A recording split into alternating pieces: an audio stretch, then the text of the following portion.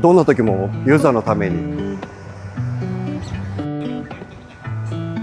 見る時のポイントは、そうですね。やっぱ、なるべく自分の場合は、ユーザーさんが分かりやすいようになっていうんですかね。自分の中でこう、絵が描けるというか、そういうイメージが分けやすいようになるべく説明をしたいなと思ってます。その辺は。波の特徴とかあれば、その辺をうまく伝えられればっていう。6月26日水曜日、お昼の動画波情報となります。風は南風本社が吹いています。強くはないですね。ブレークですが、インサイド、ショルダーが張りづらいか、ワイド気味、トロ早めのブレークで、そして波に厚みがなくなって押しし、さらに弱くなる可能性ありますので、まずは潮が引きすぎない早めが無難です。そうですね。波チェックしてると、やっぱり、レポーターって分かってくれる人が結構多々いて、あの、いつもありがとうございますって言ってもらったりとか、やっぱお礼言ってもらえるとすごい嬉しいですね。はい。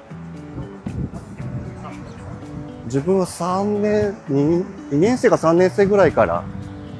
まあ、海で遊んでたというか、遊びながら、サーフィンも親と一緒に、はい、遊んでたような感じですね。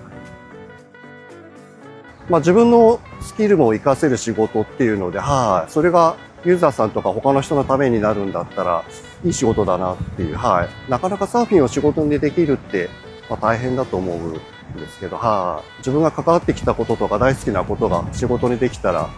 やっぱり嬉しいですね。はい。ユーザーさんが、まあ、前向きに海になるべく来ていただければっていう形で、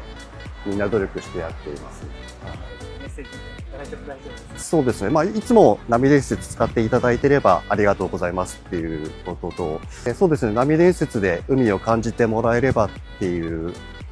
いつも思って心がけて情報を伝えてますので、まあ、海に来れない方も、ちょっとまあ、エンターテインメントじゃないですけど、はい。時間がある時にスマホとかパソコンで見ていただいたり、そこで海に来るモチベーションを上げていただいたりとかしていただければ助かりますね。あとはいろんなコンテンツも今また増やしていこうと思ってますので、コラムとかニュースの方も見ていただいたりとか、レポーターのこともちょっと感じていただいて、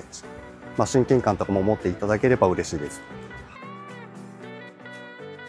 そうですね。はい。声かけていただいて、あの、ぐるぐる回ってますので、はい。あの、どこがいいかとかよく、まあ、聞かれることも多いんですけど、はい。あとは、ユーザーさんからお礼もいただくこともあるので、はい。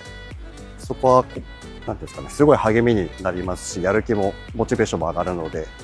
ぜひ声かけていただければと思います。